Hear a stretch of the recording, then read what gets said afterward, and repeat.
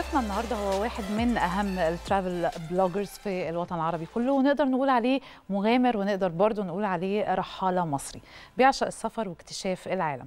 اللي بيميز محتواه وخلى ملايين المتابعين من كل حتة في العالم يتابعوا اللي بيقدمه إنه ليه ذوق خاص جدا في الأماكن اللي بيسافر ليها والموضوعات كمان اللي بيقدمها.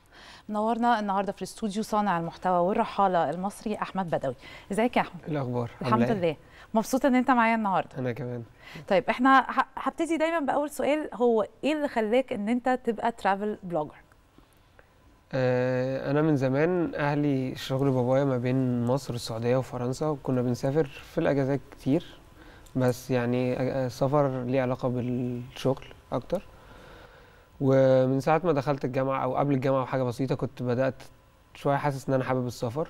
بدأت أظبط شوية سفريات لأهلي وبعد كده سفريات لاصحابي في الجامعة. وبدأت أحب قوي السفر فقررت لما أتخرج من الجامعة إن أنا هسافر لمدة سنة. مم. يعني بعد ما خلصت جامعة مش هشتغل حاجة أنا أنا هسافر سنة وهشوف إيه اللي هيحصل بعديها. و... ومن هنا يعني أنا كنت بحب أعمل فيديوهات برضو بس مش يعني اللي هو هبقى ترافل بلوجر أو دوكيومنتريز أو أي حاجة. بس الاتنين بيماتشوا بعض يعني السفر وأنا بحب التصوير فليه لأ؟ جربت. يعني حتى أنا كنت بخاف من الكاميرا في الأول. بس جربت واهو بقالي ثلاث سنين ونص بسافر. طب السنة دي رحت فيها فين وعملت إيه؟ يعني سنة ده مدة حلوة. آه طبعا. آه، السنة دي أنا بدأت من ساعة ما اتخرجت رحت كلها معظمها كانت دول غريبة. مم. يعني بدأت في فنزويلا آه، جزر قمر آه، إيران العراق يعني معظمها كانت سفريات غريبة. وده ال... كان الهدف بتاعي إن أنا مش عايز أسافر سفريات عادية مم. especially لو عايز تتعرف فأنت محتاج تعمل حاجة مختلفة طبعا. لأن كل الناس عايزة تبقى travel bloggers بس آه، معظمهم بيقلدوا بعض أو بيكرروا الدول فأنا مم. لو كررت دولة ما خلاص حد اتكلم عليها قبلية فكنت عايز أبقى مميز في حاجة فعشان كده اخترت البلاد المميزة في الأول وده عجب الناس قوي بسرعة فخلاني قدرت أكمل ولحد النهارده بنفس ال style يعني هتلاقي دايما البلاد ال...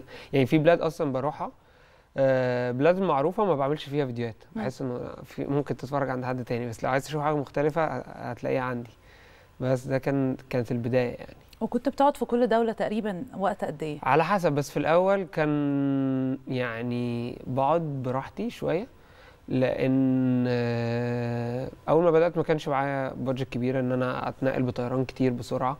فكنت بروح بلد بقعد فيها أحاول أعمل أكبر عدد من الفيديوهات عشان أقدر أدخل فلوس عشان أقدر أروح البلد اللي بعديها. دلوقتي طبعا سفري بقى أسرع لأن بقى topics معينة targeted بطلع أصورها مخصوص.